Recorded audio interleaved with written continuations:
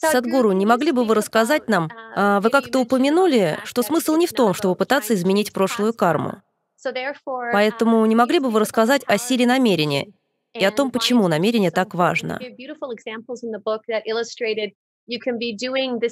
книге вы привели прекрасные примеры, которые иллюстрируют, что вы можете делать одно и то же, но для того, сколько кармы вы накопите, имеет значение именно ваше намерение.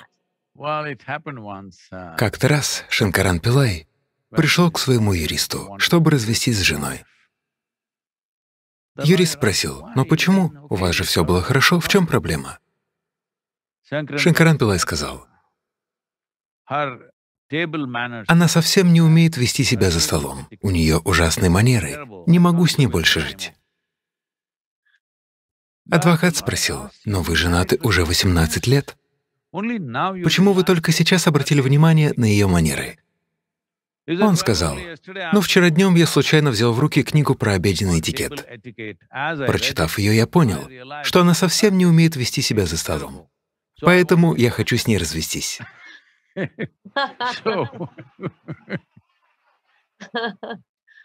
Так что люди постоянно меняют свои намерения. Придерживаться определенного намерения означает придерживаться основного плана. Остальная часть плана может идти как угодно, по прямой, по кривой или зигзагам, мы не знаем. В жизни бывает много разных ситуаций, но главное намерение должно оставаться неизменным. Однако вы не сможете удержать свое намерение, если не измените свое отождествление. В том смысле, что когда вы слишком сильно отождествляетесь со своим телом, интеллектом или эмоциями, вы можете действовать только как отдельная личность. Итак, ваше намерение имеет важное значение, но в то же время с чем вы себя отождествляете, имеет большее значение, чем само намерение, которое является лишь следствием вашего отождествления. Если вы приняли образ очень сильного человека, то увидите, что, несмотря на самые благие намерения, могут произойти ужасные вещи. Я должен сказать вам, что самые ужасные вещи на планете совершались людьми с самыми благими намерениями.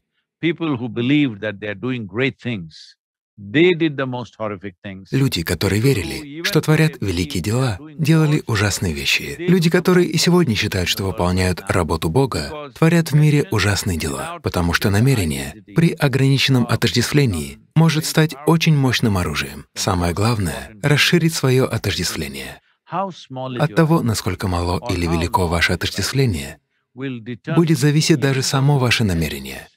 Ваша способность создавать намерение каким именно оно будет. Пожалуйста, поймите, что даже у преступника есть сильное намерение.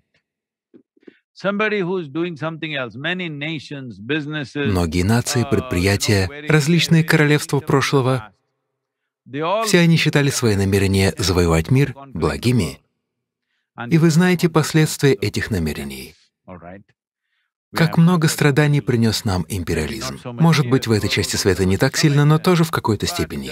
Но в других частях света, в Африке, Азии, люди вкусили горькие плоды империализма. Им пришлось пройти через многое.